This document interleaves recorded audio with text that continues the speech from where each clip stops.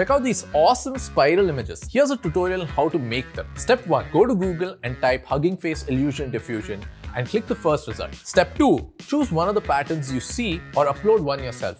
Just make sure the pattern is all black and white. Step 3. Enter a prompt in the prompt bar, something like this. And there you have it, you have your own AI generated high quality illusion art. This used to take hours to make in Photoshop, but you can make that in the click of a button right now. For more AI stuff, follow 100x.